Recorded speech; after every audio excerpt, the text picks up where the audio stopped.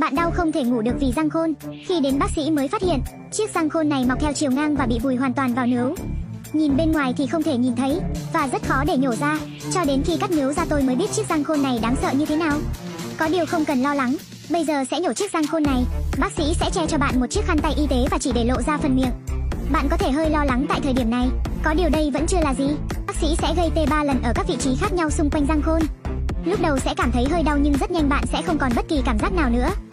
Sau đó bôi thuốc xung quanh răng, rạch một đường mở lợi theo góc mọc của răng khôn. Vì đã tiêm thuốc tê nên sẽ không cảm thấy đau. Nếu bạn cảm thấy đau tại thời điểm này thì phải giơ tay ra hiệu để bác sĩ tiêm thêm thuốc tê cho bạn.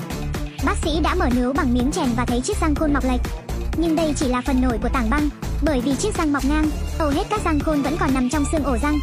Để giúp việc nhổ răng khôn dễ dàng hơn, lúc này phải sử dụng máy khoan đi, cạo một ít xương ở ổ răng, nói một cách dân dã là khoan xương của bạn bằng máy khoan điện.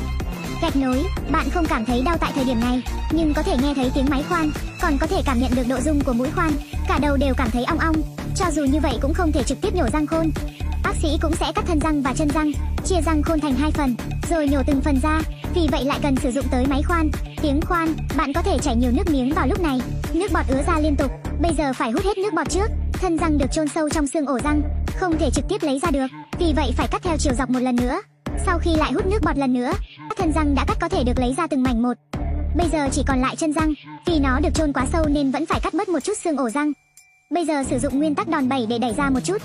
Ngay sau đó chân răng đã được cạy ra, bây giờ hàm của bạn có thể bị đau. Hãy kiên trì một chút, chuẩn bị sắp kết thúc rồi. Do vết thương khá lớn, bạn cần khâu nướu sau khi nhổ răng, thắt một nút đẹp như thế này, rồi cắt phần chỉ thừa. Trận chiến đã kết thúc, để làm cho nướu liền càng sớm càng tốt, bạn cần phải ngậm một miếng gạc trong khoảng 2 giờ. Mũi khâu sẽ được gỡ chỉ sau một tuần và không được uống rượu và hút thuốc và tránh vận động mạnh. Tổ răng khôn xong bạn có cảm thấy dễ chịu hơn nhiều không? Đón Tết hổ vàng ngập tràn ưu đãi, ốp lưng iPhone chỉ từ 9k, giảm đến 50% cho tất cả các sản phẩm. Nhận ngay 15k khi follow shop với hàng ngàn voucher vô cùng ưu đãi. Cứ mua đi, ngại chi về giá.